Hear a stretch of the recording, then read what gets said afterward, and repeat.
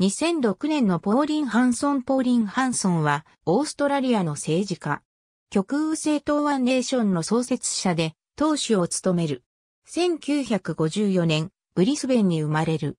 1994年に、クイーンズランド州イップスウィッチの市議会議員に選出された。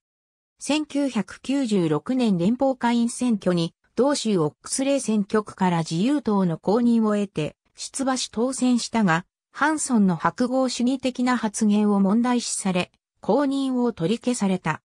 会員においてハンソンは多文化主義に公然と反対し、アジアからの移民は独自の文化や宗教を持っているので、オーストラリアには適用できないという趣旨の演説を行い、物議を醸した。1997年4月、ワンネーションを立党して党首に就任。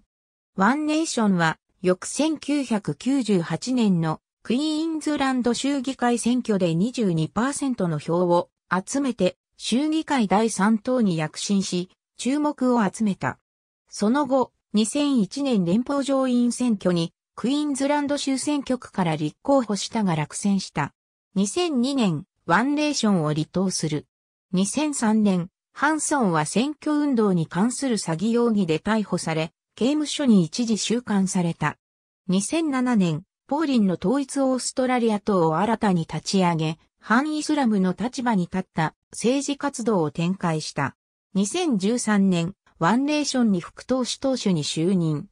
2016年連邦上院選挙にクイーンズランド州選挙区から出馬して当選し、国政に復帰した。ありがとうございます。